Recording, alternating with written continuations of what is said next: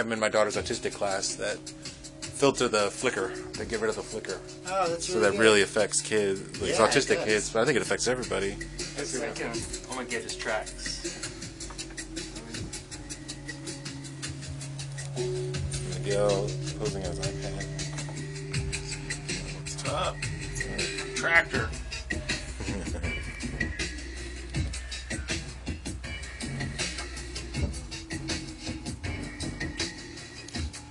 You could literally do this 24 7.